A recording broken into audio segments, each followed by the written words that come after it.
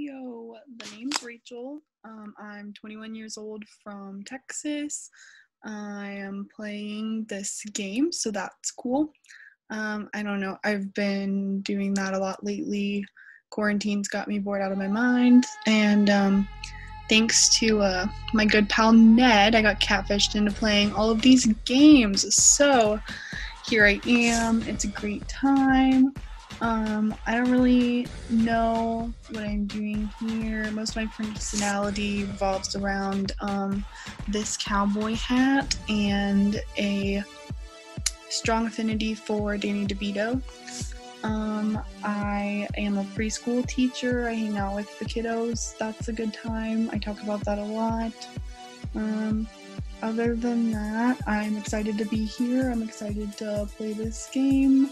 Um, yeah, that's pretty much all I got. I'm not that exciting of a person.